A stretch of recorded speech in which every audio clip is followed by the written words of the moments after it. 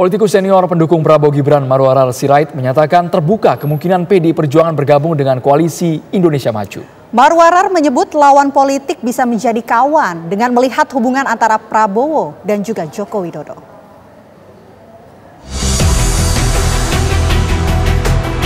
Politikus senior Marwarar Sirait melontarkan wacana ada kemungkinan PDI Perjuangan merapat ke koalisi Prabowo Subianto atas nama kepentingan bangsa dan negara. Di sisi lain, mengemuka pula bila PDI Perjuangan, partai yang dulu ikut membesarkan nama Marwarar itu, disebut-sebut bakal mengambil peran oposisi. Bukan tanpa alasan bila Marwarar berpandangan seperti itu. Marwarar menilai relasi Presiden Joko Widodo dan Menteri Pertahanan Prabowo Subianto yang dulu rival politik, namun kini sama-sama berada dalam satu kapal besar Koalisi Indonesia Maju.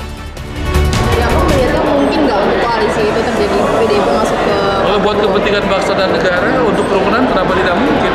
Berarti melihatnya mungkin untuk hal itu terjadi ya? Ya, kalau saya pribadi sangat bersyukur kalau itu bisa terjadi, karena Pak Prabowo dan Pak Jokowi itu uh, berpikirnya selalu positif, merangkul ya. Bagaimana kita lihat uh, tidak dalam retorika tadi, contoh 2014-19, Pak Prabowo kalah dari Pak Jokowi. Tapi Pak Prabowo diundang oleh Pak Jokowi, saya ngerti prosesnya, dan Pak Prabowo hadir di umum MPR pelantikan presiden. Saya pikir itu adalah bukti-bukti e, kenegarawanan daripada Bapak Prabowo dan Pak Jokowi. Yang satu mengundang, yang satu hadir.